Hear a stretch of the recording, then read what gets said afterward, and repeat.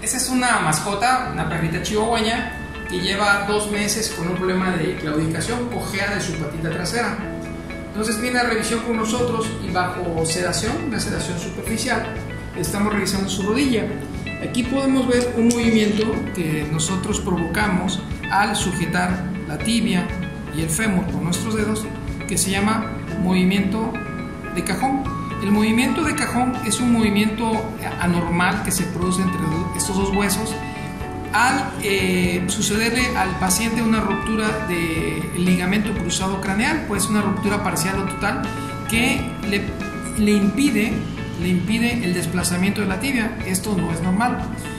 Y lo vamos a ver comparativamente con la otra patita. Nosotros la ponemos y tratamos de hacer el mismo movimiento y esto, esto no sucede.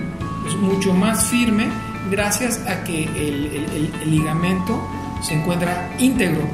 Y de este lado podemos ver que por el tiempo también la, la, el miembro ha perdido masa muscular a raíz de que no se utiliza.